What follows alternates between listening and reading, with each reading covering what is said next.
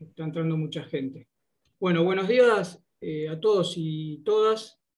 Eh, hoy me, encontré un poquito, esta mañana cuando pensaba cómo hacer la presentación, con una eh, pequeña paradoja, porque por un lado creo que el disertante invitado del día de la fecha no necesita presentación y por otro lado, si lo tengo que presentar en forma completa, no terminaría más, por, más que nada por su carácter polifacético. Me refiero a, Diego Golombek. Eh, pero bueno, siguiendo las formalidades de nuestros seminarios del instituto, voy a intentar hacer una mini presentación. Eh, el doctor Diego Golombek es licenciado en biología, doctor en ciencias biológicas por la Universidad de Buenos Aires, se desempeña como profesor titular eh, en la Universidad Nacional de Quilmes, donde dirige un laboratorio especializado en cronobiología, eh, que estudia los ritmos, ritmos y relojes biológicos. Es investigador superior del CONICET, eh, fue presidente de la Sociedad Argentina de Neurociencias y coordinador del Programa Nacional de Popularización de la Ciencia. Además, de su labor científico, tiene una reconocida trayectoria como divulgador de la ciencia en diversos ciclos televisivos y medios gráficos, es autor de varios libros y uno de los organizadores de TEX Río de la Plata. Entre muchas otras distinciones recibió la beca Guggenheim, el premio Kalinga UNESCO, el premio CONEX, el premio nacional de ciencia Bernardo Hussein, y Premio IG Nobel. Fue miembro de la Comisión Nacional por el Mejoramiento de la, Enseñanza de las Ciencias. Eh, es un honor contar con su presencia. El seminario que él nos va a dictar lo tituló Contar la ciencia en tiempos urgentes. Así que Diego, adelante. Muchísimas gracias por aceptar eh, la invitación a formar parte del ciclo 2021 de nuestros seminarios INIGEM. Adelante, Diego. Muchas gracias, Ariel. Gracias a INIGEM. Un placer, un honor que me, que me convoquen y está, muy bien contar todo lo que hacemos y en estos tiempos urgentes más todavía. ¿sí? Este, voy a compartir pantalla. ¿sí? Y ahora, ¿vieron que, que en estos tiempos raros de Zoom, en algún momento nos, volvieron, nos volvimos todos espiritistas? En un momento todos decimos, ¿me estás viendo? ¿Me estás escuchando? Dame una señal. ¿Sí? Si me estás viendo, move la copa. Muy loco esto. Y además nos conocemos de la cintura para arriba. Nadie quiere saber el color del pijama, esas cosas. Y pasa algo más. Vieron también que en los seminarios de Zoom o, estás en seminario de laboratorio de fuera y en algún momento nos volvemos ventrílocos también, ¿viste? No, no, no, no, no, está prendida la cámara, boludo, pasa por abajo. No, no, es, es, maravilloso este mundo. Pero bueno, nos tocan estos tiempos, ¿sí? Y además de hacer ciencia, hay que contarla. Y eso es lo que yo un poco quiero compartir con ustedes, la, la otra parte de hacer ciencia, que es contarla. Y uno de los nombres para contarla los nombres más populares, y vamos a hablar un poquitito sobre nombres de lo que hacemos, es hablar de divulgación científica. Vamos a criticar dentro de un ratito esto de, de, los nombres con los cuales nos presentamos, ¿sí? cuando tenemos que llenar un documento o lo que fuera. Pero divulgación se usa mucho y hay un conocido y muy polémico eh, periodista científico que falleció hace unos años, que tenía una definición muy interesante de, divulgación científica, que es la siguiente. La divulgación científica es la continuación de la ciencia por otros medios. Sí, obviamente está citando el arte de la guerra, sí, está citando a Clausewitz, a la guerra, a la política y esto, pero es interesante la definición, ¿no? porque está diciendo, de alguna manera, que contar la ciencia es parte de hacer la ciencia. Y eso no es moco de pavo, ¿sí? eso es algo bastante profundo si nos ponemos a pensar, porque todos, todas, nosotros, nosotras, este, hacemos algo de contar la ciencia, pero no como parte de nuestro trabajo, ¿verdad? Hacemos aparte. Bueno, según Leonardo Moledo, que a él me estoy refiriendo, la divulgación científica es continuación de la ciencia, es parte de la ciencia, pero ahí está esa palabreja, ¿no? Esa palabrita, ciencia. ¿De qué hablamos cuando hablamos de contar la ciencia? ¿Y qué quiere decir ciencia?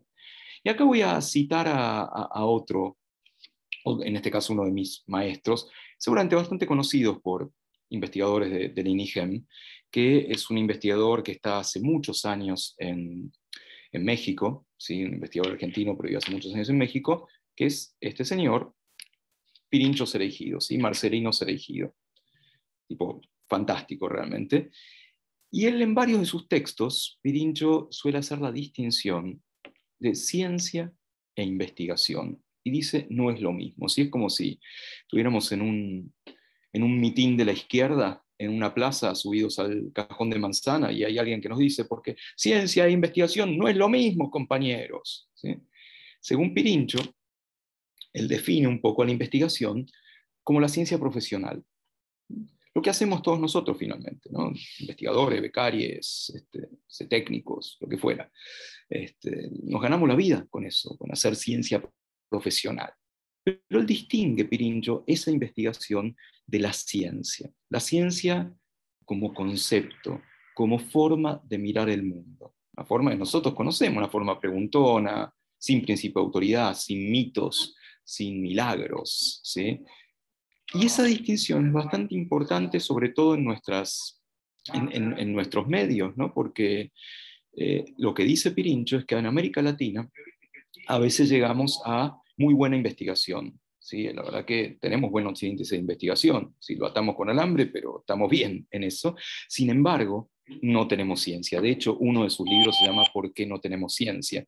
En este sentido, en el sentido de que no tenemos ciencia para resolver nuestros problemas, para enfocar un poco nuestro norte con una mirada científica. ¿sí? Y esto de, poner en contraposición esto de la ciencia y la investigación, y de pensar que la ciencia es una forma de mirar el mundo, nos retrotrae a otro personaje, también muy importante para esto yo les voy a contar, que se hizo muy famoso en 1959, ¿sí? hace cincuenta y pico de años, ¿sí? que es este señor, ¿sí? Charles Snow, ¿sí? o C.P. Snow, Charles Percy Snow. Snow era un físico, ¿sí? pero devenido en eh, autor literario de ficción, escribió varias novelas de ciencia ficción y fantasía, y le pidieron que diera una conferencia en, en 1959 que el título Las dos culturas. ¿sí? ¿Cuáles eran esas dos culturas de las que hablaba Snow? Hablaba de una cultura científica por un lado, y una cultura humanística por otro. Y era bastante tajante en cuanto a esa división, a esa grieta, si me permiten. ¿Sí? Él decía que no se hablan, no se pueden entender ambas culturas. ¿sí? ¿Sí? Por un lado, eh, los ejemplos que daban eran un poco exagerados. Él decía, alguien que viene de la cultura científica perfectamente puede disfrutar de los sonetos de Shakespeare, mientras que alguien que viene de la cultura humanística no puede entender el segundo principio de la termodinámica ni puede disfrutarlo. Yo no sé cuánto disfrutan ustedes el segundo principio de la termodinámica, pero esa es otra historia. No están viendo ese ejemplos, ¿sí? no, no es lo mismo poner una cosa, pero sí hay algo, ¿no? Sí hay algo, estas dos formas de mirar el mundo, que a nosotros muchas veces nos cuesta, ¿no? Cuando hablamos con la familia, con amigos, de esta mirada científica sobre el mundo, nos cuesta un poco entenderlo. Esto, esto de las dos culturas, que después no fue, fue tan bestia la, reacción que hubo, que tuvo que dar otra charla y escribir otro libro que hablaba de una especie de la tercera posición ideológica, ¿no? una forma en la cual las dos culturas podían juntarse. Esto en, en, la Academia de Comunicación de la Ciencia tiene un nombre y se llama modelo de déficit en comunicación científica. ¿Por qué déficit? Porque supone que hay gente que sabe de qué se trata, los científicos acá arriba, que saben de qué se trata, y abajo el vulgo, la girada, el pueblo, los que no saben. Por eso hay un déficit, algo más arriba, algo más abajo. De hecho, como vamos a ver dentro de un rato, las actividades de comunicación presuponen un poco este déficit de pasar información de un lado a otro. Es como si ya partiéramos de que hay dos bandos, ¿no? Como diría García Lorca en Bodas de Sangre, dos bandos, aquí hay dos bandos, tú con el tuyo, yo con el mío. Se pinta tu raya, ¿sí? Como que hasta estamos, y acá que somos todos más o menos del palo, ¿sí? De la cofradía, hasta estamos todos un poco contentos, ¿no? De estas dos bandos, no me, no me molesten, yo estoy haciendo ciencia, si hay algo de esto. Les voy a mostrar ejemplos de esto que parece tan exagerado, esto de los dos bandos, hay muchos ejemplos culturales, ¿sí? De esta división entre las dos culturas. Uno, por ejemplo, tiene que ver con este señor que está acá arriba, que es mi borracho favorito, seguramente lo conozcan, Edgar Allan Poe, por supuesto. Poe, al menos de joven, odiaba a la ciencia odiaba, la detestaba realmente. ¿sí? Una de las razones es que el único libro de Poe que se vendió y se vendió mucho mientras él estaba vivo es un libro de ciencia, un libro que tuvo hacer por encargo sobre moluscos, sobre malacología. ¿sí? Pero sus poesías, sus cuentos, nada. ¿sí? Y escribió de joven este soneto a la ciencia, donde dice, Chan, ciencia, hija del tiempo tú eres, alteras todas las cosas con tus escrutadores ojos. ¿por qué devoras el corazón del poeta? ¿Cómo debería él, el poeta, amarte? ¿Cómo puede juzgarte sabio aquel a quien no dejas buscar un tesoro en los encollados cielos? O sea, la ciencia es una porquería, te baja un ondazo. Y básicamente esto mismo, unos cuantos años, un siglo y pico más tarde, también en términos culturales lo dijo alguien más cercano a nosotros, un tal Fito Páez, que hace unos ya como cinco discos, sacó un disco que llamaba Confía. Bastante malo el disco, pero no importa, ¿sí? Y hay una frase en ese disco que es exactamente mencionar las dos culturas. Y la frase es esta. Pareces una flaca de exactas, explicando lo que no hay que explicar. Traducción. Pareces una estudiante de ciencias que viene a romper las bolas, que uno quiere tirarse en el pasto a disfrutar de las estrellas, con un pastito en la boca, y viene el plomo de un astrónomo a contarte, bueno, porque las elipses y las supernovas, y que yo, no, déjame disfrutar, déjame disfrutar del cielo. No me expliques lo que no hay que explicar. Es como si la ciencia viniera casi profesionalmente a quitarnos la belleza, a quitarnos la magia de las cosas. Nosotros sabemos que no es así, que incluso es todo lo contrario, que entender algo es profundamente bello, profundamente mágico, no lo contamos de la forma adecuada. Y si hay esta grieta, esta división entre las dos culturas, ciencia y resto del mundo, lo que será entre tecnología y resto del mundo. Y ahora de nuevo, vamos a echar mano a la literatura y un gran escritor, no tan buena persona por lo que cuentan, pero un gran escritor Arthur Clarke, el de 2001, sin ir más lejos, definía esto como nadie. Si decía, toda tecnología avanzada es indistinguible de la magia. Epa, ¿y no es un poco así? ¿No es un poco que realmente, este, porque yo estoy hablando acá desde mi oficina y ustedes lo están viendo a través de una pantalla en el laboratorio o en su casa o donde estén y me están escuchando, que hay un montón de japoneses en el medio y, se la pasan, eh, pasala, pasala, y el último, nada, grita ahí en la computadora de ustedes. No sabemos, no tenemos idea. Hay realmente una diferencia enorme entre la cultura nuestra de todos los días y la cultura tecnológica. No digo eso esté bien. Y otro ejemplo, vamos a hacer un pequeño experimento. Un experimento que se hace desde hace más de 50 años en casi todo el mundo, se hace sobre todo en jardines de infantes, pero realmente vale para todo tipo de público y lo vamos a demostrar nosotros. ¿sí? Voy a pedir que imaginen a alguien que haga ciencia. ¿sí? Aún ustedes, que son todos del palo científico. ¿sí? Y ahora permítanme adivinar, la gran mayoría va a estar imaginando a un hombre, posiblemente, con guardapolvo, seguramente, con anteojos, somos todos miopes, por supuesto, este, con moscas en la cabeza, porque somos todos muy roñosos, un sándwich en el bolsillo, pues no sabe cuándo paras a comer. O sea, están imaginando al científico loco de Hollywood, ¿no? A gente rara, digamos, ¿sí? Esto, como les decía, se hace hace 50 años en jardines infantes. En los últimos años, de a poquito, están apareciendo algunas mujeres. ¿sí? Muy poquitas, ¿sí? pero de la nada aparecen algunas mujeres en este imaginario de alguien que haga ciencia.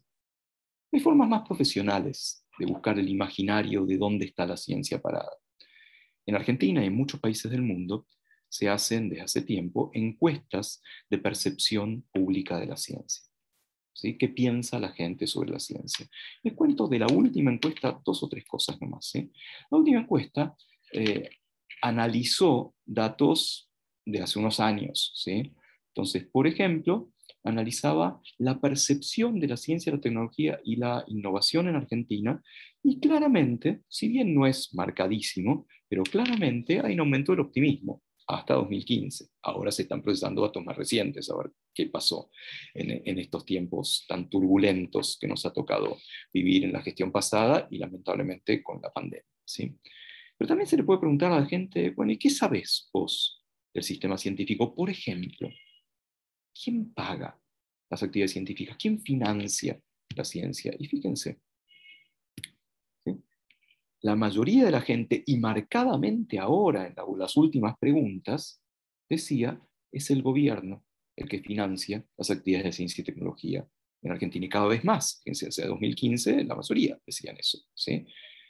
Lo cual, debemos decir, es estrictamente cierto. ¿Sí? La verdad que la participación del sector privado en el financiamiento de la ciencia y la tecnología es muy baja en Argentina las fundaciones también, etcétera, pero claramente es el gobierno, sobre todo.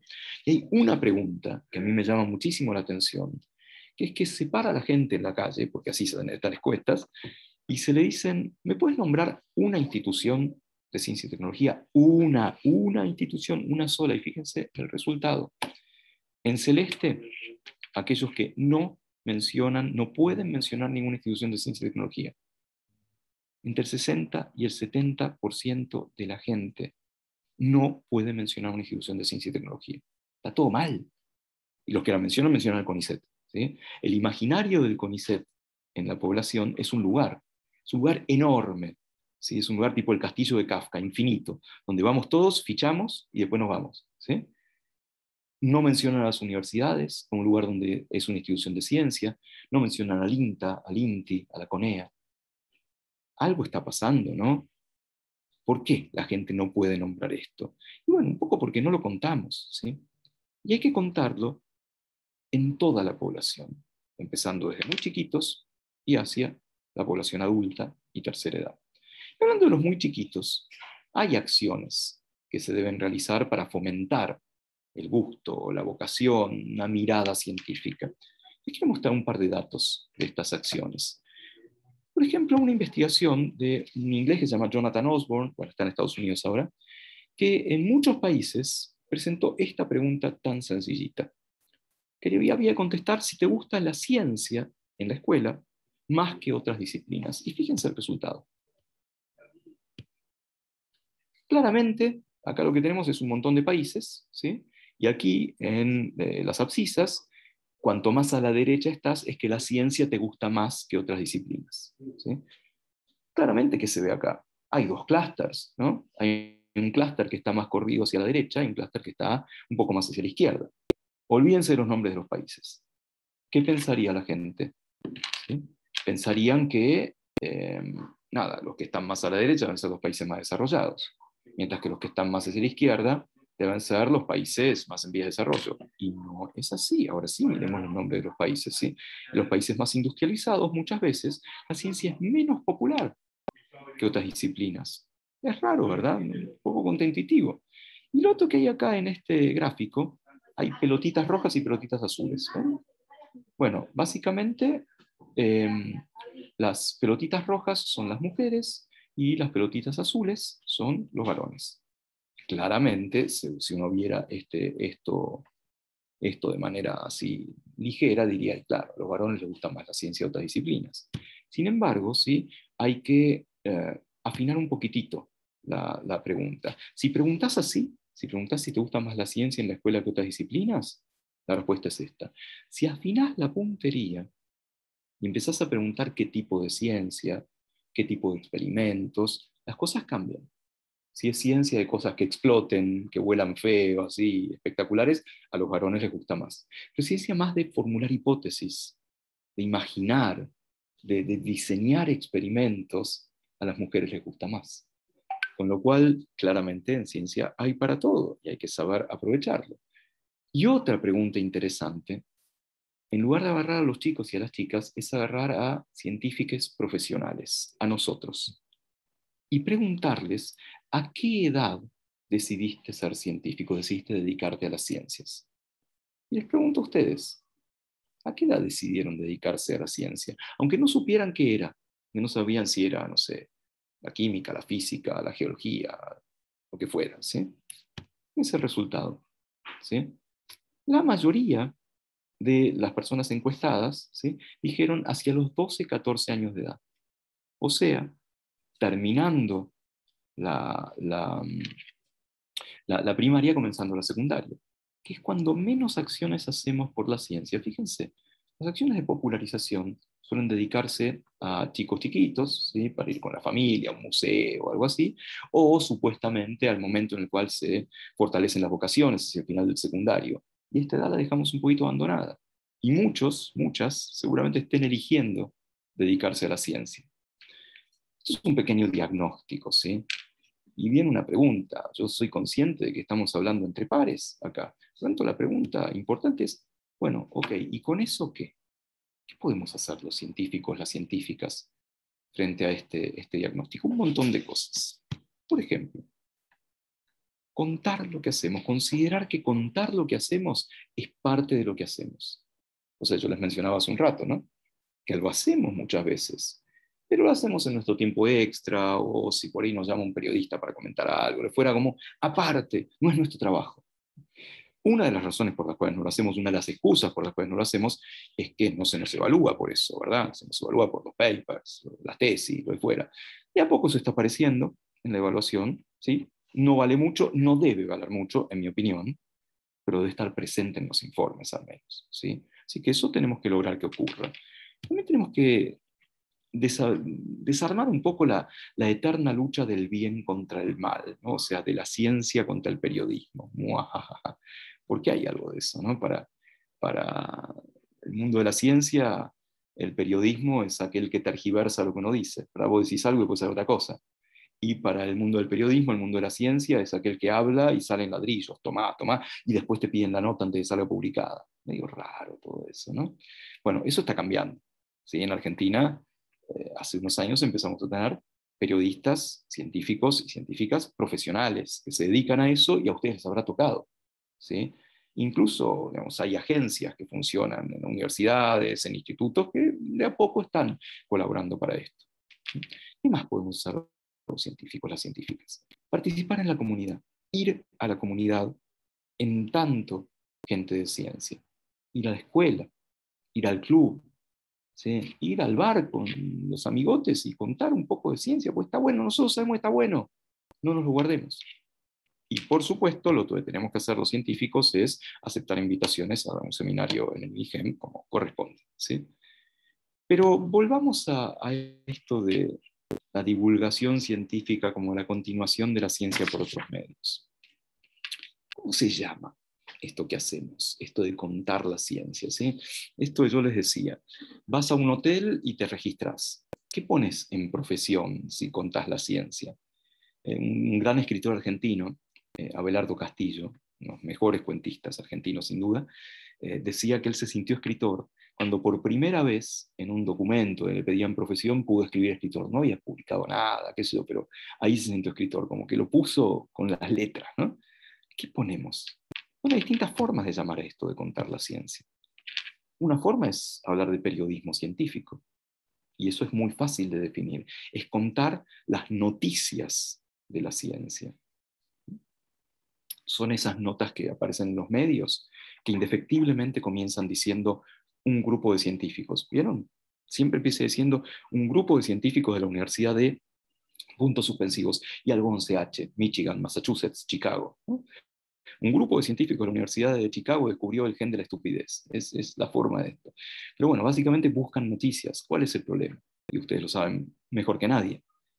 No solemos tener noticias. Nosotros heredamos historias.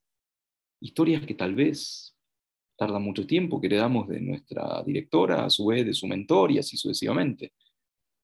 El periodismo científico muchas veces traduce esas historias en noticias y algo se queda fuera que se queda fuera, la ciencia, y ahora vamos a hablar en un ratito.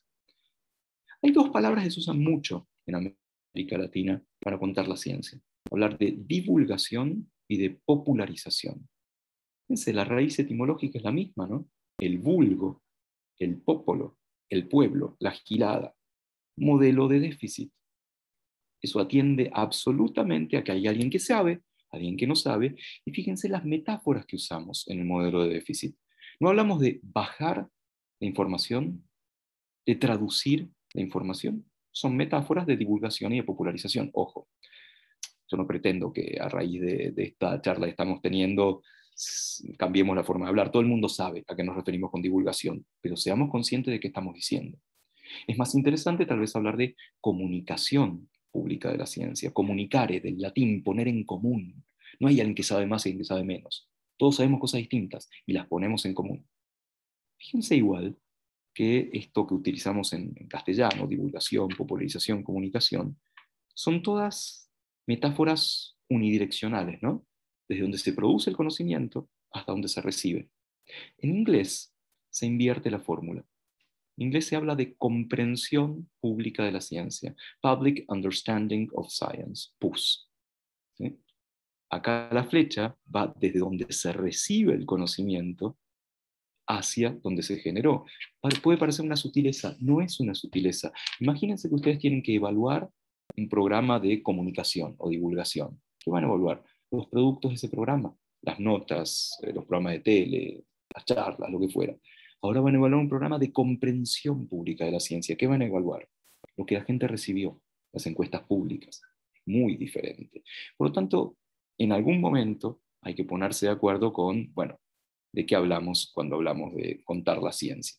Sin embargo, también hay un cierto acuerdo en que algo tiene la ciencia que la hace complicada de compartir, de contar, de, comunicar. Y permítanme arriesgar algunas hipótesis de por qué es tan difícil compartir y comunicar la ciencia. Primera hipótesis. La ciencia es difícil de comunicar porque cambia todo el tiempo. Ejemplo. Ejemplo biológico, la apoptosis. Algo que hoy es moneda corriente en la biología celular y molecular, pero es un concepto que se genera y se pone un nombre a partir de la década de 1990. Con lo cual, imagínense que acá lo que está mostrando es publicaciones que mencionan el concepto de apoptosis ¿sí? en función del tiempo. Ninguna, ninguna, ninguna, ninguna, unas cuantas, un montón, o toda la biología celular, qué sé yo. Imagínense que ustedes tenían que contar la, biografía no autorizada de una célula. ¿sí? La contaban en 1990, contaban una historia. Contaban en 1995, contaban una historia muy diferente. Epa, pero me está jodiendo, me dijiste una cosa, no me está diciendo otra. Nos hace difícil comunicar la ciencia. Segunda hipótesis, la ciencia es difícil de comunicar porque es difícil y se acabó. De nuevo, ejemplo biológico. Ustedes conocen perfectamente una rama de la biología, que es la biología sistémica, ¿sí? la biología de sistemas, que en lugar de estudiar unas pocas cosas, estudia muchas cosas todas juntas, estudia millones de neuronas o 20.000 genes, lo que fuera. ¿sí? Definición de la eh, biología de sistemas. La biología de sistemas es un nuevo campo de la biología que apunta a desarrollar una comprensión a nivel de sistemas de los sistemas biológicos. Lo que de nuevo tengo que echar mano al mismo personaje porque esto parece haber sido dicho por este querido amigo. Sin embargo, esa definición es de un texto ya pero un texto del MIT, la meca de la ciencia, y es una porquería la definición. ¿Sí? Está autológica, circular, no sirve para nada. Sin embargo, suena difícil, debe estar bien. Nos regodeamos un poquitito en esto, ¿no? En, algo que, que, suena difícil y no... Perdón eh, no necesariamente debe ser así. Y si nos gusta hablar en difícil, más nos gusta mostrar en difícil. Último ejemplo biológico. Imagínense que ustedes estudian no un genoma, no un proteoma, sino un interactoma de una célula cualquiera. Y bueno, van y lo cuentan al mundo muy contentos con su interactoma y toma, este es mi interactoma. ¡Chan! Bueno, no parece muy adecuado para contar la ciencia fuera de una pequeña cofradía, ¿no? Esto lo entienden 10 personas, 10 personas entienden estos clústeres o esta célula en particular o que fuera. Hablando de 10 personas, hace muchos años, hace un siglo más o menos, hicieron un reportaje a, Sir Arthur Eddington, ¿sí? el que demostró en cierta forma la teoría de la relatividad cuando estudió un eclipse en Río, y, y le preguntaban a Eddington, che, Eddington, ¿Es verdad que la teoría de la relatividad la entienden solamente tres personas? La respuesta de Eddington fue, ¿quién es el tercero? Como que nos gusta un poco este regodeo, ¿no? Tercera hipótesis de por qué la ciencia es difícil de comunicar. Un concepto popperiano, que es el de la falsabilidad, que es completamente antiintuitivo. Miren ahora por la ventana, ¿sí? donde estén en el laboratorio o en su casa, y van a ver, seguro, no me cabe duda, van a ver un cisne blanco, después aparece otro cisne blanco, otro cisne blanco, otro cisne blanco. Nuestro cerebro es inductivista. Y nuestro cerebro dice, todos los cisnes son blancos. Las ciencias naturales, malditas, no, tienen que estar buscando permanentemente al cisne negro. ¿Sí? Lo que se llama la hipótesis nula o la falsabilidad. Eso es muy difícil de compartir. Que vos hagas un experimento para refutar una hipótesis. Entonces, anda a comunicar eso. Muy fácil. De hecho, no lo aprendés en la facultad, lo aprendés con el correr de muchos años de laboratorio. Otra hipótesis, ya la mencionamos, ¿sí? es esto de que la ciencia se hace de historias, no de noticias. Y acá va un ejemplo a prueba de edad, ¿sí? porque les voy a hablar de sábados de superacción. Chan, la mitad más o menos sabe de qué estoy hablando, ¿verdad? Peliculón de sábado de superacción, ¿sí? era El regreso del monstruo de dos cabezas. Maravillosa. En la cual hay un científico loco y malo que habla con acento alemán porque dominará el mundo, que se está por morir. Dice, ah, no me voy a morir nada, voy a hacer que trasplanten mi cabeza y ahí voy a seguir haciendo maldades. Fenómeno, le encuentran un voluntario para el trasplante de cabezas, que era un condenado a muerte, un preso condenado a muerte. Pero hay dos problemas. Tiene el problema. El preso condenado a muerte es negro, ¿sí? y obviamente nuestro científico era muy racista. Y segundo problema, en lugar de sacar la cabeza del negro y ponerla al científico, dejan la cabeza del señor, del preso, y ponen al científico acá, al lado, en el hombro. Y una escena en la cual el científico se despierta, mira para el costado y dice, ¡ah, maldito negro! Es muy edificante, realmente es maravilloso. Imagínense que eso sucediera, ¿no? Que hubiera un trasplante de cabezas. ¿no aparecería al día siguiente la noticia de crean el monstruo de dos cabezas y dejan afuera la historia? Para, para, para, para, ¿Cómo se hace un trasplante? ¿Trasplante de cerebro? ¿Cómo juntas los nervios? ¿Cómo juntas los vasos sanguíneos? ¿Estás trasplantando un cerebro o estás trasplantándole un cuerpo a ese cerebro? Todo eso se queda afuera cuando transformas una historia en una noticia. Y otra de las hipótesis relacionada con esta es que cuando contamos la ciencia, la contamos desde hoy, como si todo hubiera ocurrido hoy, en lugar de tener una perspectiva histórica, y acá yo siempre echo mano a mi querido amigo, ay perdón, mi querido amigo Asterix, ¿sí? en todos los capítulos de Asterix hay alguna perspectiva científica, y nuestros pibes no están leyendo Asterix, así nos va, ese es el futuro que tenemos. ¿sí? No leen Asterix y votan a melenudos que vayan a saber quiénes son. Perdón. ¿sí? Eh, incluso cuando damos clase, ¿no? Cuando damos clase, qué sé yo, de Lamarck, ¿sí? Jean-Baptiste, varón de Lamarck, y contábamos las, las jirafas que el, que el tipo pensaba que les, creía, les crecía el cuello para, para alcanzar las hojas de arriba, entonces las jirafitas bebé nacían con, con un cuello más largo. ¿Y qué hacemos? Nos morimos de risa. Ah, mira qué pava decía Lamarck. ¿Por qué? Porque no hacemos una perspectiva histórica.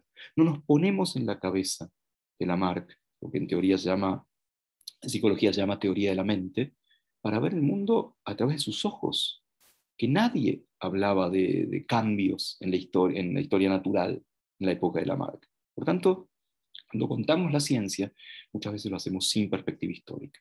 Última hipótesis es que cuando contamos la ciencia, lo hacemos como si estuviera aparte, ¿no? como si no tuviera nada que ver con nuestra vida cotidiana. Hay una cantidad enorme de ejemplos de nuestros experimentos, nuestras líneas de trabajo, que tienen todo que ver con la vida cotidiana. Experimento. ¿Qué pasa si yo les pongo esta foto? Muy arriesgado lo mío a las doce y pico del mediodía, ¿no? O bien yo hago... O escribo la palabra bostezo. Bueno, hay un montón de ciencia, ¿no? Un montón de preguntas. ¿Qué es el bostezo? ¿Para qué sirve? si realmente es contagioso, como todos ustedes están demostrando en este momento, y no, no me ofendo, no se preocupen. Bueno, tan científico es que hay una asociación internacional para el estudio del bostezo, Tomás, que tuvo su último congreso hace un par de años en París, y fue un plomo, obvio. Pero fíjate, los tipos llegan a una conclusión inequívoca de qué es el bostezo y por qué es contagioso. Son dos palabras, ni idea. Toma, ¿cómo para, para, para? los bostezólogos del mundo no saben algo tan básico como esto? No, es maravilloso. Nos convierte a todos y todas en bostezólogos y podemos hacer experimentos y eso hay que aprovecharlo para contar la ciencia. O bien recorrer nuestra casa con ojos de científico, ir a ver toda la ciencia que está escondida en la cocina, ¿sí? hay un laboratorio ahí adentro, o toda la ciencia está escondida en el baño.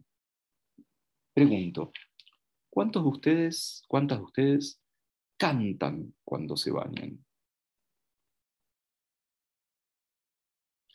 reformulo la pregunta. ¿Cuántos, cuántas de ustedes se bañan? Bueno, asumiendo que se bañaran, una actividad muy recomendable por la ciencia, debo decir, no sé el INIGEM qué reglas tiene al respecto, ¿cantarían? ¿Alguna vez cantaron? ¿Escuchaban gente cantar? Sí, la respuesta es sí, obvio. ¿Por qué?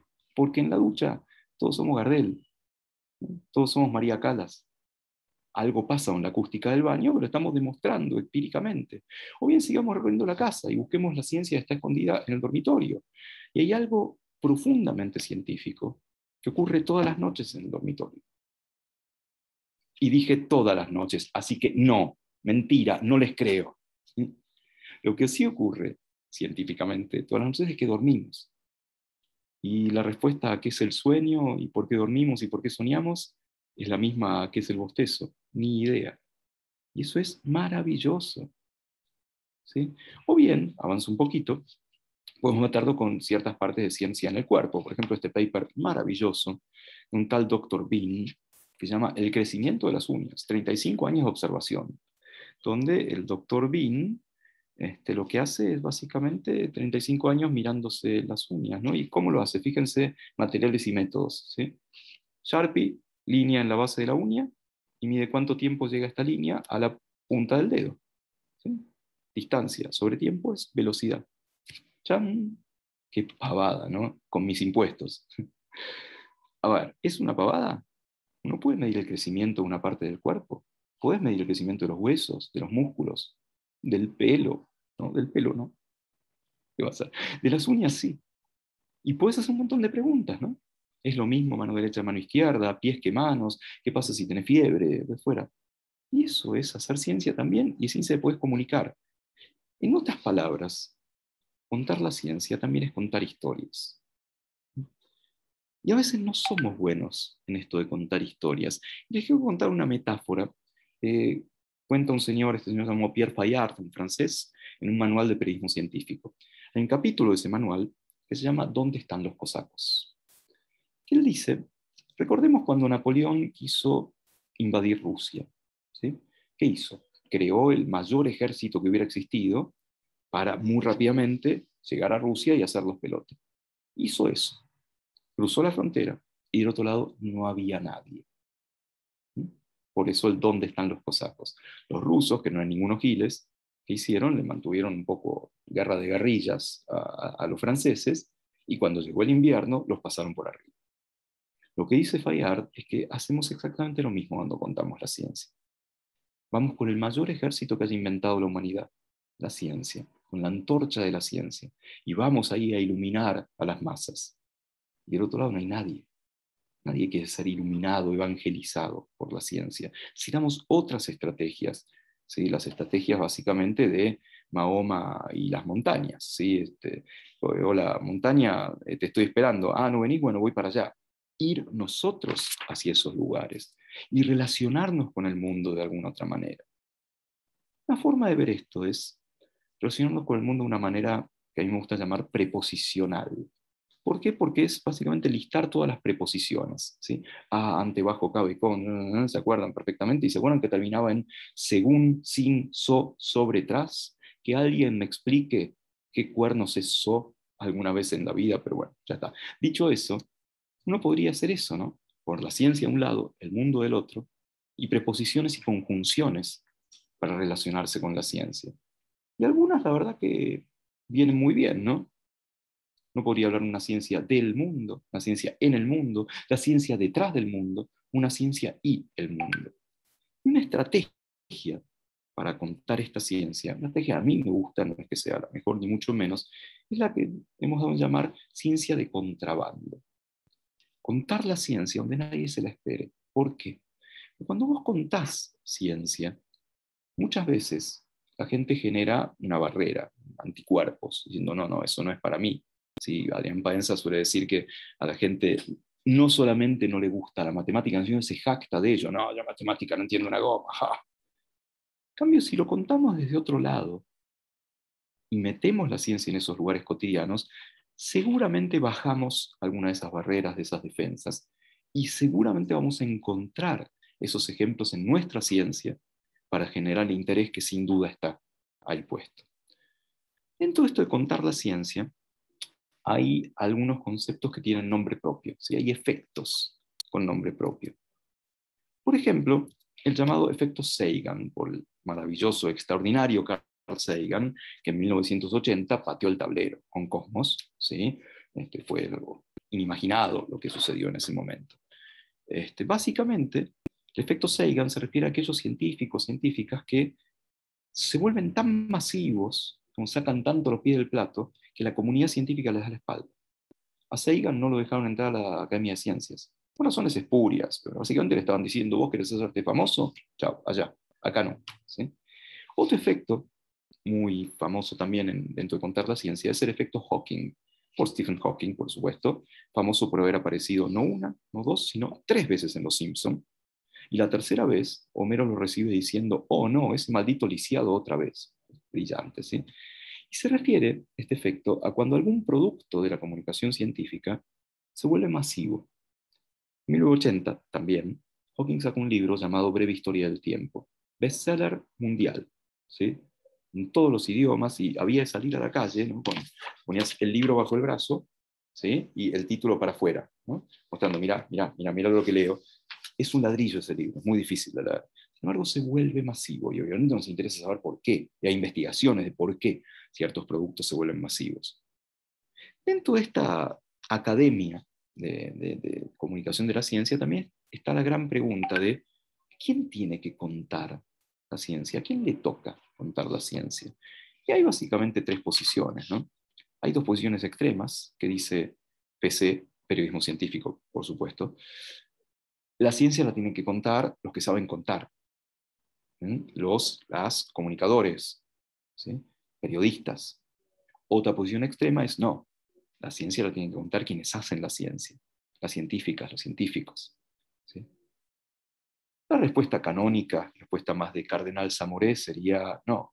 Ahora todos son bienvenidos en esto y tal vez este género de divulgador, si bien la palabra no es la más feliz de todas, conjuga un poco los saberes de la ciencia con los saberes de contar. Lo que es seguro es que vengas de donde vengas, un poco tenés que formarte, ¿no? Si venís de la ciencia, necesitas herramientas de comunicación. Si venís de la comunicación, necesitas herramientas de la naturaleza de la ciencia de cómo funciona un laboratorio, cómo es el sistema científico, quién financia, cómo es la carrera científica. Si no, no puedes contar ciencia. Históricamente han aparecido una serie de personajes que realmente han sido muy, pero muy influyentes en esto de contar la ciencia, al menos en la ciencia escrita, ¿sí? en libros, entre otras versiones. Y acá les muestro algunos profesionales que cuentan la ciencia. Es interesante lo de profesionales porque es un hecho político. En la Guerra Fría hay un informe en Estados Unidos, el informe Vannevar Bush, muy famoso, que dice hacia dónde tiene que ir la ciencia en ese país. Y entre otras cosas dice, muchachos, nos estamos quedando sin cientifiquitos, sin investigadorcitos, sin ingenieritas. ¿sí? Por lo tanto, hay que divulgar, hay que contar la ciencia y hay que pagar eso, hay que invertir y nace el divulgador profesional. Y acá les muestro unos cuantos. Me encantaba esta, esta serie de fotos porque tenía estos cuatro que se habían muerto y estos cuatro estaban vivos. Y estos dos guachos se me murieron. ¿Te das cuenta? Tengo que cambiar completamente. ¿Quiénes son? Son todos hombres, porque tradicionalmente la mayoría eran hombres, tal vez algo Rachel Carson en esa época, de los famosos me refiero, Jacob Bronowski, que es el mejor divulgador de las ciencias sociales, por supuesto, Carl Sagan, Asimov, tipo raro, pero que ha hecho mucho, ¿sí? Em, el, de la evolución. Ah, perdón, tuve una, una, una, una, laguna. Stephen Jay Gould, por supuesto. Stephen Jay Gould, el tipo que cuenta la evolución como nadie. Martin Gardner, que empezó a popularizar la matemática. Mi ídolo personal, Oliver Sacks, que falleció hace un par de años. Paul Davis, gran divulgador de la cosmología. Eh, Richard Dawkins, ¿sí? que más allá de lo que uno pueda pensar de algunos de sus textos, hizo una revolución con esto. Y no solamente tenemos estos profesionales, sino que en algunos casos los productos de contar la ciencia se vuelven particularmente influyentes. Ese, por ejemplo, un librito cortito, ¿sí? 100 páginas, un tal Erwin Schrödinger llamado ¿Qué es la vida? Aparentemente influyó en que muchos físicos se empezaron a dedicar a la biología molecular. Un tal Francis Crick, entre otros. El gen egoísta, muchos dicen que es un poco la filosofía que llevó a hacer el proyecto genoma humano, realmente. Primavera Silenciosa, Rachel Carson. Libro ¿Por qué Primavera Silenciosa? Porque ella cuenta que de una temporada para la otra se callaron todos los pajaritos. ¿Por qué? Por el uso masivo de DDT, ¿sí? como plaguicida, o como ah, bichicida en todo caso. ¿sí? Efectivamente, este libro hizo que se prohibiera el uso masivo de DDT. O bien otro de la, de la colección, Armas, Gérmenes y Acero, un libro hermoso de Jared Diamond, gran divulgador, donde habla de esta hipótesis de que parte de la, de la conquista, la llamada conquista de América, tuvo que ver con los gérmenes y con las enfermedades que traían españoles y europeos, para los cuales eh, la comunidad nativa no estaba preparada. Esto generó líneas de investigación en virología, en infectología y en historia, a partir de un libro de divulgación. A veces, contar la ciencia la a contar desde otro lado, por ejemplo, desde la ficción. Y un señor que inventó el concepto de ciencia en ficción, no ciencia ficción, ciencia en ficción, ficcionalizar la ciencia. Este señor era Carl Gerasi, famoso por haber inventado la píldora anticonceptiva, un químico austríaco, pero se fue y vivió en México y Estados Unidos. Y él inventó esto y la verdad que lo ejerció, hizo un montón de novelas, obras de teatro. Y veamos algunos de estos casos de ciencia en ficción. libro de Jorge Volpi, llamado En busca de Crimson, es un libro de física, con la excusa de contar la carrera atómica nazi. libro de Michel Houellebecq, Las partículas elementales. Houellebecq es ingeniero agrónomo, nuestro Guillermo Martínez, matemático, ¿sí? que en Crímenes Imperceptibles uno de los personajes es el teorema de Fermat, de, Fermat, de alguna manera, David Lodge, que, ficcionaliza las ciencias sociales como nadie, o sea, hay una tradición que funciona, funciona en el teatro, funciona en la literatura, funciona de muchas maneras aprovechar la ficción para contar la ciencia. Por último, tenemos un poquitito de no solamente los tiempos urgentes, sino los tiempos modernos. ¿Qué está pasando ahora con contar la ciencia, particularmente con la pandemia? ¿no? Pasando cosas bastante curiosas. En principio, hay algo muy interesante, que es que la gente en el bar esté diciendo ARN mensajero. Yo casi me atraganto, no si pasas por ahí y, dices, no, pues esta está basada en ARN mensajero, no, no, y las cepas, y, y con las mutaciones. O está pasando algo, algo interesante en ese sentido. También está pasando lo contrario, ¿no? Porque está pasando eso, yo les decía, de que la ciencia cambia todo el tiempo. Y por ahí se cuenta algo desde la ciencia en el marco de la pandemia, y a las dos semanas o al tienes que decir, ¿viste eso que te conté hace un rato? Bueno, ahora sabemos más, no es tan así. Ejemplo típico, ¿sí? Durante un año estuvimos todos machacando, algunos poquitos, que el contagio era por contacto. ¿sí? Empezaron a haber cada vez más evidencias del contagio por aerosoles. Y ahora cambió el paradigma. Entonces, hubo gente que se enojó, entre comillas, con eso. para, me hiciste lavar la mano chiquicientas veces por día, me hiciste lavar la lechuga en la bandina, y ahora me decís que eso no sirve para nada. Bueno, no es que no sirva para nada, pero ahora sabemos otra cosa. Eso genera una cierta crisis de confianza. Y el problema es que hay unos pocos ejemplos que validan esa crisis de confianza. Debo decir en, honor nuestro, que la ciencia, los científicos, las científicas no mienten. ¿Verdad que una cosa es elegir cómo contar una historia, hacer un paper es elegir cómo contar una historia, los datos son los datos. Sin embargo, a veces sí, sí, hay mentiras, hay fraudes, y como decía el gran Fontana Rosa, ¿sí? perdón, ¿sí? la mentira tiene patas cortas y nariz larga, la mentira es como una comadreja, ¿no?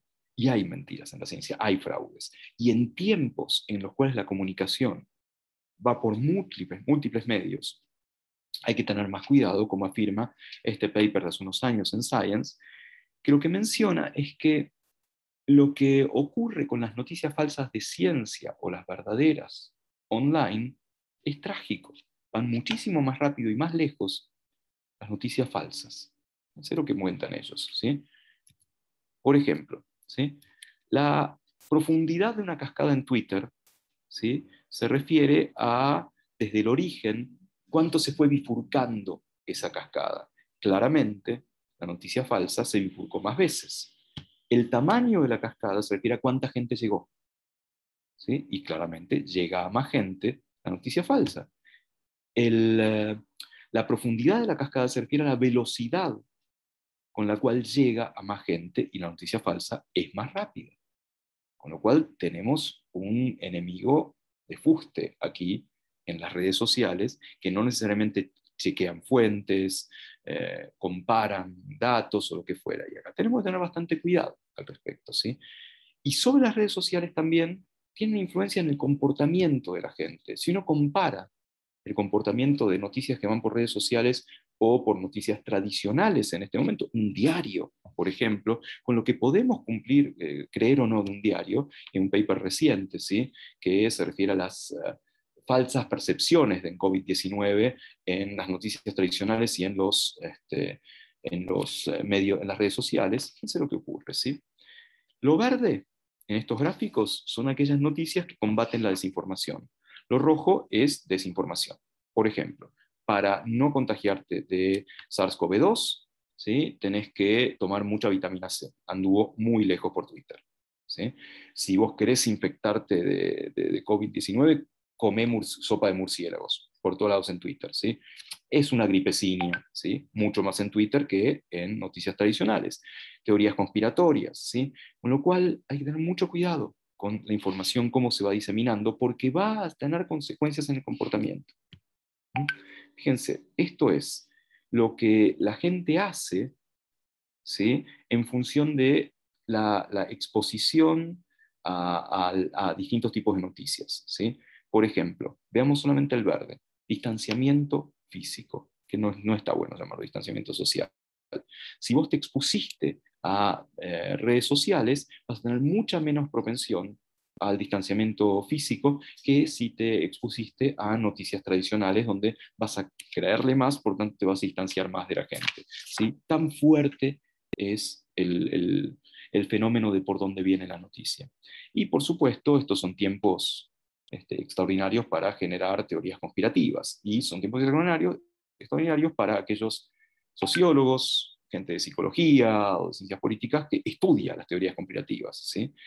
Eh, por ejemplo, si en una encuesta se ve que el 30% de la gente dice, decía en su momento que eh, la amenaza de COVID-19 fue exagerada para dañar al presidente Trump, y otro 30% decía que el virus sin duda fue creado artificialmente y eh, distribuido para dominar el mundo. ¿sí? O sea, es un buen momento para estudiar estas cosas. Y acá hay rasgos de la personalidad influyen en esto. Un negacionismo, que es un rasgo de la personalidad, es una predisposición psicológica para creer en estas teorías conspirativas. Buen momento para estudiarlas y ver qué hacer en contra de esto. A ver, cuando viene una mamá, un papá a la consulta pediátrica, ¿sí? y dice, no, no, yo a mi hijito, mi hijita no, los vacuno porque este, yo escuché, me dijo el primo de la amiga de mi cuñado, que em, eh, la vacunaron a su bebé y eh, después tuvo autismo. ¿sí?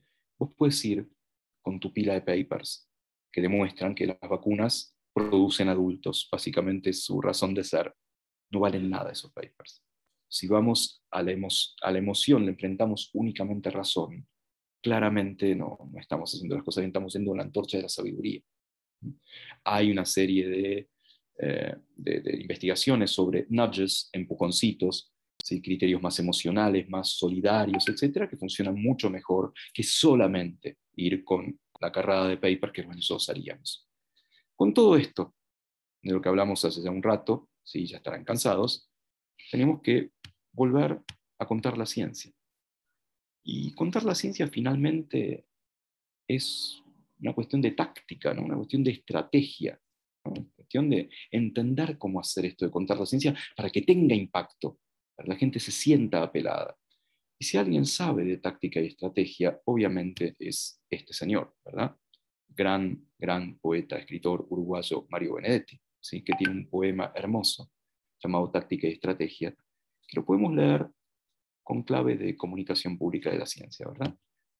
Mi táctica es mirarte, aprender cómo sos, quererte como sos. Y sí, hay que aprender cómo es esa gente, está ahí, querer esa gente está ahí. Mi táctica es hablarte y escucharte, construir con palabras un puente indestructible, un puente entre esas dos culturas, la ciencia y el resto del mundo.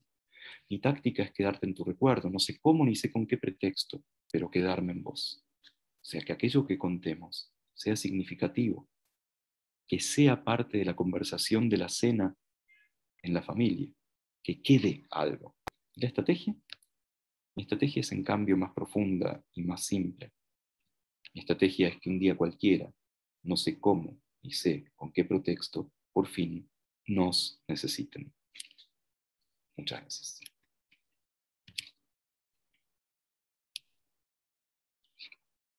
Bueno, eh, la verdad, eh, un aplauso. creo que merecido aplauso, eh, porque la, la, charla fue muy entretenida. Por un momento pensé que estaba mirando el canal Encuentro. así que te, te agradezco un montón. yo tengo algunas preguntitas. ¿Cómo no? Eh, respecto, yo tengo un poco la sensación de que eh, la mayoría de, la gente, la población en términos generales, cuando se habla de ciencia o de investigación, también lo podemos trasladar al, plano de la investigación, en, ese imaginario social siempre está pensando en científicos eh, de las ciencias que nosotros denominamos ciencias duras o ciencias naturales también. Eh, ¿Qué pasa con la divulgación en el campo de las ciencias sociales? Eh, porque, por ejemplo, se me ocurre un caso particular, conocido por todos, que ha hecho, ha saltado a, la arena de la divulgación en ciencias sociales la filosofía, Darío Zeta. Pero no, no conozco otros casos y, ¿Qué nos puede decir al respecto, tanto acá en Argentina como en el mundo? ¿no? Ah, está muy bien, también la pregunta, Ariel.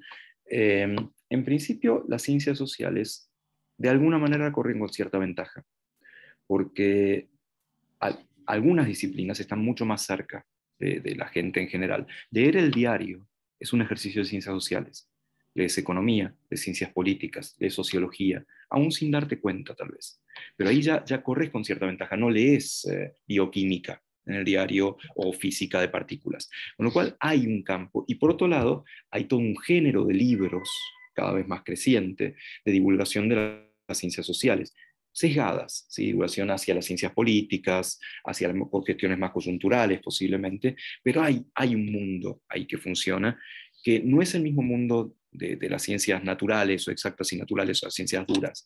Eh, de hecho, yo, dirijo una colección de, libros de, divulgación, se llama Ciencia que ladra, y en ciencias naturales no encontramos el tono similar para las ciencias sociales para ese tipo de, divulgación. Tiene otros carriles, tiene carriles y funcionan realmente, porque uno tiene que pensar cuando hay una nota de opinión de, economía en el diario, que es un poco divulgación de, las ciencias sociales. Pero es cierto que son dos carriles diferentes. No, no, no, no, salvo algunos casos maravillosos, poner un documental que desde la historia te cuenta la ciencia y empieza a reaccionar, por ejemplo, documental de hace muchos años llamado Relaciones, de James Burke, que no ha envejecido nada. Bueno, era contar desde la historia y la sociología eh, contar las ciencias naturales, contar la tecnología y lo de fuera, pero no hay tantos cruces, efectivamente, van por carriles más bien separados. En Argentina hay muy buenos divulgadores de ciencias sociales, vos mencionaste a Darío, gran amigo, pero Gabriel Di Meglio haciendo historia, y hay gente que realmente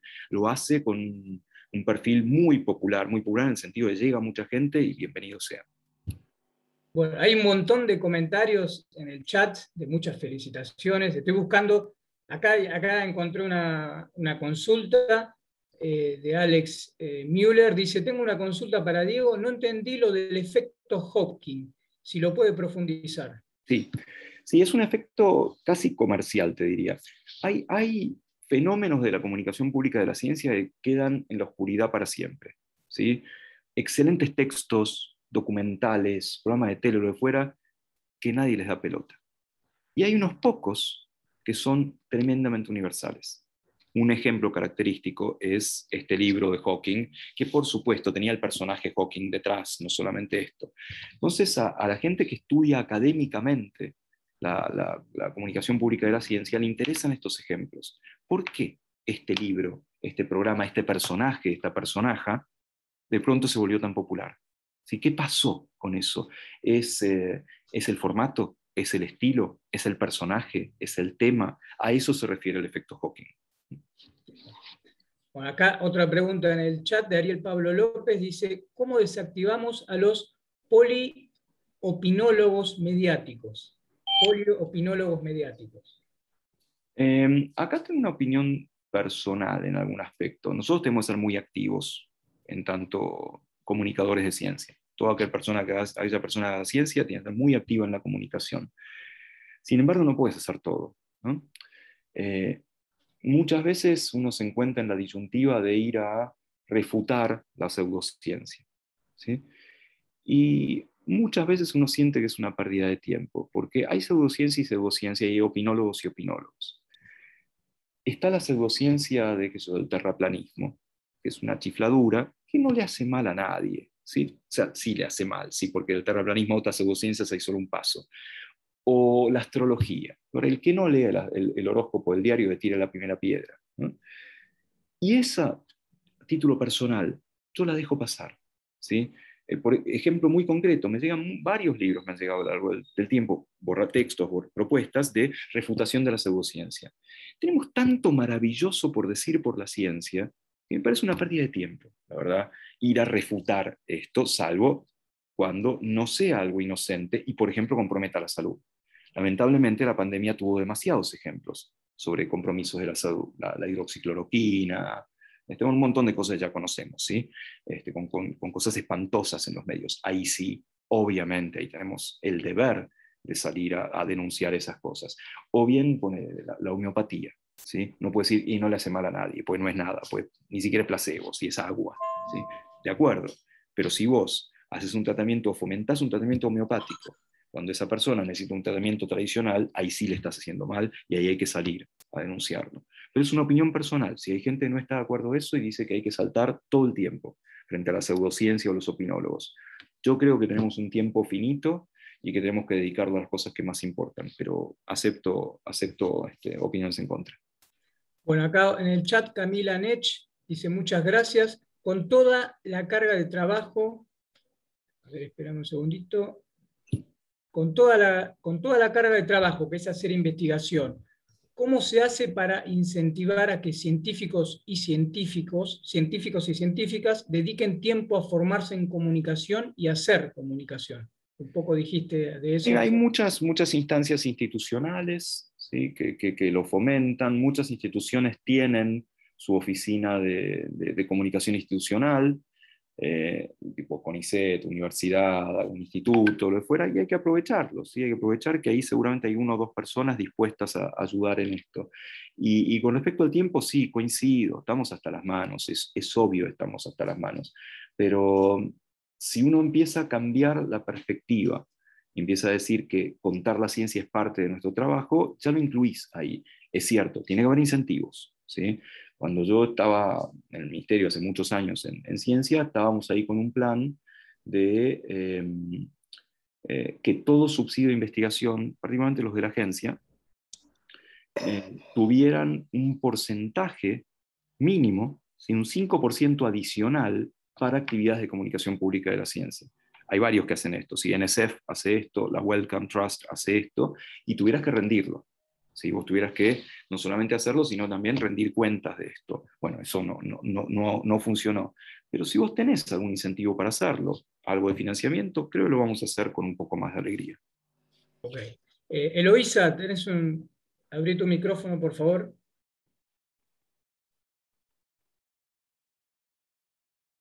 Eloisa dijo que no tenía eh, ah, no tiene audio. Ah, porque, está bien. Bueno, fíjate, si la puedes escribir, porque acá me pusiste que tenías una pregunta. Eduardo Martínez, si podés abrir tu, tu, micrófono. Acá, estoy. Eh, gracias. Eh, bueno, em, Diego, fabuloso, me encantó Eh, es un tema que a mí me, eh, me, llama mucho la atención porque desde el año pasado que comenzó todo esto la pandemia, personalmente he tratado de, de, divulgar justamente, de ir en contra de la, de las fake news, que es impresionante. Es, es algo que me, en un principio me volvía loco y después bajé un poquito los cambios y me empecé a, a tratar de decir, no, no puedo ir a pelear. Es lo mismo que decía el, lo que mostrabas tú del paper este de, de Nature, que las fake news eh, viajan más rápido que, que, la verdad. He tratado de hacer un poco de divulgación, es muy complicado, como dices tú, eh, porque sí, ahora hizo, aún me da culpa de, también de esto del, de que uno eh, va, comunica mal, uno va con una palabra diferente en vez de ir a ser más amigable con el resto de la gente. Eh, pero es un problema porque ahora, en esta época actual, es, todos son expertos. Todos saben de vacunas, todos saben de cepas, todos saben de mutación, etc. Y a mí me da la impresión de que antes era difícil divulgar ciencia y ahora es peor, porque ahora son todos expertos. Eh, todos saben. Y, y, lamentablemente me pasa muy cercano con la familia, y ahí va la pregunta, eh, que uno a pesar de que trate de comunicar y, comunicarlo bien, con palabras eh, accesibles, eh, simple, no complicarse la existencia, básicamente la gente no, no te cree. no, como, no, es, es, algo, por ejemplo, algo muy básico, voy a, voy a contar una, una infidencia, de explicarle a, a la abuela de mi hija de por qué no hay que darle eh, carne picada a los chicos acá en Argentina menores de 5 años. Eh, no, pero si mi hija yo le di carne picada siempre y nadie se... Sí, pero... Eh, y le explicas el por qué, y etcétera, no te creen. Y te lo dicen de frente, no, porque no, no, no, no, no creo. si no es un médico el que lo dice, no, es imposible hay cosas que sí, hay cosas que no. Pero no, no, no sé ya realmente cómo, cómo llegar a la gente. Tú eres un experto varias, en este varias cosas, Eduardo. A ver, eh, de lo primero que decías no estoy tan de acuerdo. Yo creo que la gente sí sabe discriminar fuentes eh, en estos tiempos eh, y, y, es tarea nuestra ayudar. Eso, ayudar a discriminar una fuente, a decir, viste, ahora todo el mundo habla de, de, de Lancet. Bueno, ¿por qué The Lancet es más que Villiquen o, es, o que Anteojito? Eso nosotros tenemos que contar cómo es el sistema, qué quiere decir publicar, qué quiere decir que haya referato. Eh, eso la gente no tiene, puede saberlo y es parte de contar la ciencia. Y empiezan a discriminar algunas cuestiones. ¿sí? También hay gansadas ¿sí? que se dicen alrededor de, las publicaciones, de todo esto, pero, pero hay un cierto, un cierto respeto y, orgullo también por, por la ciencia y, y sus logros, limitados, pero logros al fin. Lo otro que decías es, esto de eh, cierta sabiduría popular, a veces basada en evidencias y a veces no, a veces basada en mitos, versus evidencias que uno puede traer sobre la mesa. Y acá es muy variada la respuesta, es muy, muy variada. ¿sí? Este, efectivamente, eh, hay los cambios que se están sucediendo en, en todo sentido, no sé si son cualitativamente diferentes, pero sí son cuantitativamente distintos y mucho más rápidos. Y eso nos cuesta mucho. No tenemos un cerebro que se ajuste tanto a los cambios tecnológicos, a los cambios de conocimiento tan rápidamente, al menos. Y eso posiblemente esté pasando con la abuela de tu hija, ¿sí? que, cuesta mucho esta adaptación a nuevas informaciones. Igual las que más fáciles son de, de, transmitir son las informaciones bromatológicas, las informaciones digamos, más, más de salud, son las que en general la gente tiene mayor, mayor este, escucha para esto. ¿Sí? Pero hay algo ahí de los cambios rápidos que hay con el conocimiento que nos cuesta un poco más comunicarlos. Lo otro, yo creo que vamos bien, hay que ver qué queda de esto.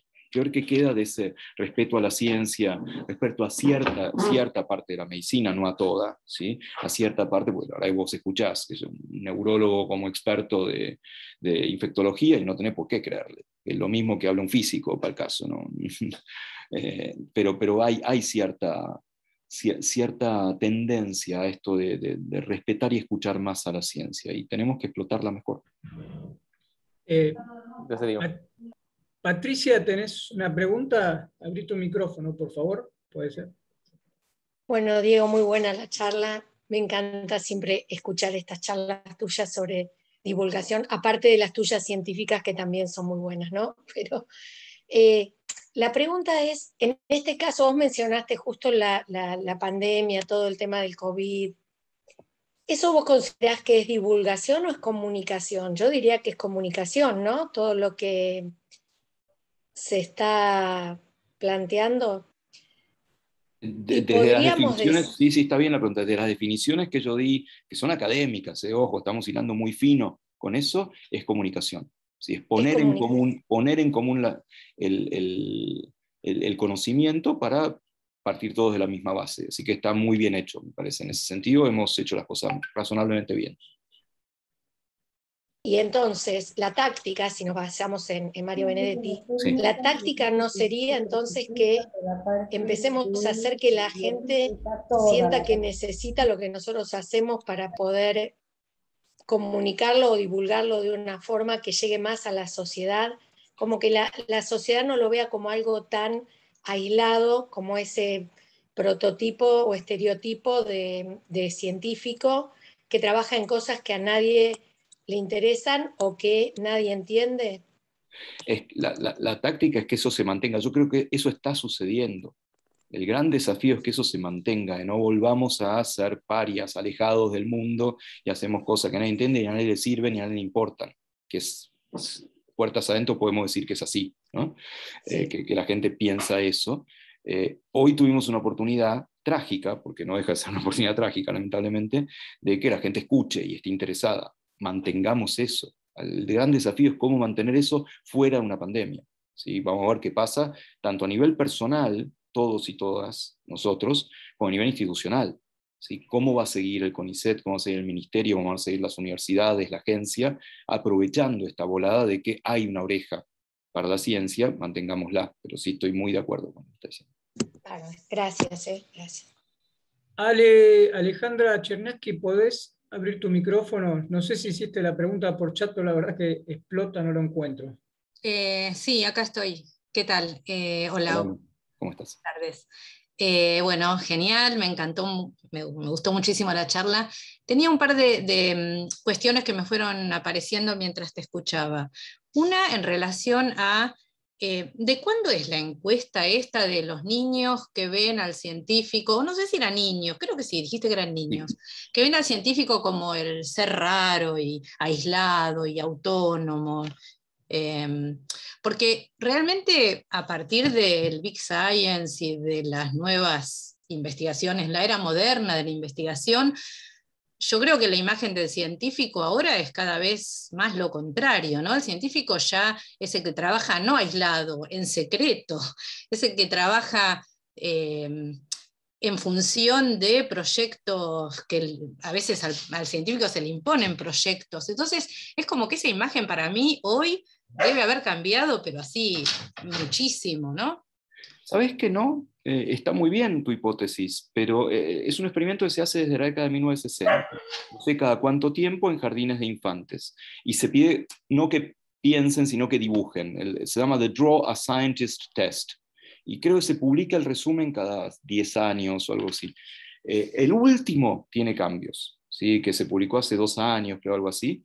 Eh, no sé en qué países, la verdad no, no, lo tengo, pero tengo el paper por ahí dando vueltas. El último empieza a tener cambios y empiezan a vestirse más normales y como les decía, empiezan a aparecer mujeres, pero va muy lento, porque es cierto lo que vos decís, Alejandra, de, de, que hay una percepción distinta, pero el arquetipo hollywoodense no cambió tanto. Sigue siendo el científico loco que va a dominar el mundo. Y ese, o, el de las series, ponele, ¿sí? Eh, sigue siendo un poco ese, ¿no? Entonces, eh, hasta que ese no cambie. Y de hecho es una gran oportunidad. Eh, hace mucho, en, la primera presidencia de Lula, eh, habían puesto plata en Brasil para que aparecieran científicos y científicas en novelas, ¿sí? para que la gente los viera, viera los viera laburando. no sé qué impacto tuvo eso. Me acuerdo, en, había una novela en Argentina llamada Resistiré, que Raúl Taibo era científico del CONICET. En un momento estaba en la casa y decía, me voy al CONICET, y abría la puerta del baño, no sé dónde iba básicamente. Bueno, ese no ayudaba mucho para, para esto, pero, pero hay algunas acciones para, para ir cambiando este imaginario. Es lento, es más lento de lo que uno quisiera. Bien. Lo que pasa es que hicieron The Big Bang Theory, que era también como para popularizar la ciencia, y Sheldon no ayuda mucho a cambiar esa. Pero tiene, ahora, ahora, ahora, seguimos, pero tiene un, un, costado interesante, Big Bang Theory o los premios Ig Nobel o lo que fuera. Está claro que es la ciencia riéndose de sí misma. Eso es algo que la ah. gente no sabe mucho, que en los laboratorios la gente se ríe, come, festeja, canta. Con lo cual eso está bueno también contarlo, por más que sí es un estereotipo absoluto, Sheldon y amigos.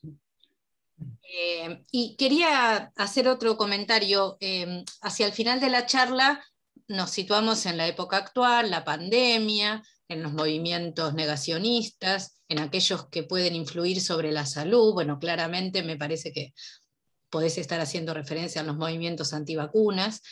Y un poco, eh, porque los, digamos, vos decís eh, uno de los factores que pueden subyacer al surgimiento de estos movimientos es que la ciencia cambia rápidamente. Yo creo que más que eso es que eh, es inherente a la ciencia que, surja este temor, este, este, riesgo, esta percepción de riesgo, porque la, investigación genera continuamente, cuando uno más investiga, más cosas quedan por investigar y eso necesariamente se va a traducir en una mayor percepción de riesgo. Por lo tanto, a mí me parece que no se trata solo, solo ¿no? Hay que comunicar, pero más bien eh, yo quería acentuar lo otro que vos dijiste. Yo creo que es una buena oportunidad de estudiar los motivos por los cuales en la sociedad van apareciendo, por ejemplo, estos movimientos antivacunas, porque muchas veces son motivos religiosos, identitarios, de que no basta con que vos a la gente le ofrezcas las mejores explicaciones científicas, porque la gente no es eso lo que busca, sino que eso es lo que se ve, pero lo que subyace a eso es lo que realmente justifica el surgimiento de estas, de estas teorías y estos movimientos. Tenés razón, yo no soy experto en el tema, pero hay mucha gente que labura en esto en Argentina eh, Ana María Vara, por ejemplo, estudia mucho percepción de riesgo. Pablo Kramer, desde, desde la sociología de la ciencia. Hay, bibliografía al respecto y es fascinante realmente, pero bueno, me, excede un poco el tema. no, no, claro, yo, porque digo, lo que, lo que yo eh, escucho es que no se trata solo de comunicar, sino que los estudios de esta gente, justamente, se trata de eh, aprovechar el momento y la oportunidad de realmente estudiar los orígenes, ¿no? ¿A qué se debe todo esto? Sí, sí, sí, de acuerdo. Eloísa, eh, Eloísa, ¿tenés audio ahora? ¿Tenés eh, micrófono? A ver. No, no se te... Ahí, ¿me escuchan? ahí sí, ahí sí. Estoy en el laboratorio y está complicado. Em, lo mío estaba un poco relacionado con esto que decía Alejandra, pero algo que no tocaste en, el, en la charla, con esto del origen de los movimientos antivacunas. Em, en realidad hubo un paper de The Lancet que originó por supuesto, eso. Por supuesto. Entonces, un poco mi, cuando vos hablabas, yo estoy de acuerdo en todo y estaba buenísima la charla, pero creo que los científicos también tendríamos que tener algún panel. A Andrew Wakefield lo único que se le hizo fue sacarse la matrícula médica. Desde el punto de vista, y se le retractó el paper, que sí, pero eso no llega. o sea, también deberíamos idear los científicos mecanismos, porque también dentro del movimiento antivacunas hay muchos que, de hecho salió una con Fernando Bravo en esta pandemia, que tenía un doctorado en Italia. ¿Cómo controlamos nosotros? Este, creo que también es un desafío eh, cómo controlamos la divulgación de la mala ciencia, porque incluso de Lancet tardó como una década en retractar el paper, porque también es un negocio. Entonces también ahí hay un tema para trabajar, eh, que no comuniquen unos mercenarios. No, tenés, eh, toda la razón. Eh, bueno, lo de Lancet creo que todos lo saben, es este paper de Wakefield que decía que la triple viral se relacionaba, correlacionaba con un aumento de casos de autismo. Y se vio que no solamente era un fraude, se había inventado los datos, sino que además tenía intereses el tipo en homeopatía, no sé, un desastre. Que hizo Lancet, retractó el paper, pero pasaron 10 años, con lo cual el mal ya estaba hecho Y a mucha gente le sigue sonando esto, vacunas igual autismo. Es gravísimo, es gravísimo esto. Eh, hay ejemplos interesantes de esto, incluso en Argentina. Están estos chicos de Ciencia Anti-Fake News, Soledad Gori, que está haciendo una tarea muy interesante, eh, Fabricio en algunos aspectos y también, pero lo de Soledad me parece está, está buenísimo. Eh, de nuevo, vuelvo a decir, es posición personal. En estos casos hay que salir con todo. si No hay que callarse, hay que usar redes sociales. Eh, si tenemos conocidos o colegas en los medios de comunicación, pedirles de salir, porque es una vergüenza. No puede salir gente a, hablar en contra de las vacunas eh, y nosotros quedarnos callados. Manejaría más las energías para no salir con otras cosas, pero insisto, es, posición personal. Lo de soledad es interesante, no es masivo, ¿sí? y muchos otros, debo decir, ¿sí? Eh, muchos otros que tienen muchísimos seguidores en redes, este, que la verdad que están haciendo una tarea muy, muy interesante por esto. Es cierto que las lógicas del mercado de comunicación son distintas, ¿no? Van a llamar mucho más a determinados medios en particular, van a llamar mucho más a aquellos que hagan ruido, que hagan o sea, bien amarillo, y es difícil después ir, ir contra esto, ¿eh? pero lo dijo una química, lo dijo un médico, sí, pero dijo cualquier verdura, pero bueno, del mal ya está hecho, es un poco Lancet. Pero tenemos que usar todo lo que esté en, nuestros, nuestras manos al respecto, ¿sí? que, que podamos salir a, decir, no, mira, la evidencia no es esa, la evidencia es esta, y te lo explico, y te lo cuento, y te muestro el paper, y lo que fuera. Y eso es usar parte de nuestro tiempo para, para, para denunciar estas cosas, para contarlo, y a veces no lo hacemos, y seamos muy honestos. A veces decimos, no, que se ocupe otro, yo tengo que hacer experimentos y publicar papers. Y sí, tenemos que hacer experimentos y publicar papers, porque por eso nos, nos, nos, juzgan. Pero también tenemos la responsabilidad social de salir a contar estas cosas. Lo hacemos demasiado poco, tal vez. Bueno, eh, la verdad que nuevamente te agradezco un montón, Diego, porque eh, se notó el interés y el impacto eh, de, tu charla Así que me alegra mucho eh, en lo personal y, supongo que a todos haberte tenido este mediodía en el Instituto INIGEM. Así que muchísimas gracias. Gracias a ustedes. Bueno, ya, ya nos veremos en congresos y esas cosas que solíamos hacer en otras vidas. Gracias, Diego. Y también quiero agradecer en nombre del instituto a, a, todas aquellas personas que son de otras instituciones que se han unido en esta charla también. Gracias a todos ellos. Gracias. Y gracias a vos, Diego. Muchas gracias. Chao, Diego, que siga bien. Gracias a todos. Chao, que sigan gracias, bien. Diego. Gracias a todos. Adiós, que sigan bien. Chao, Diego, gracias.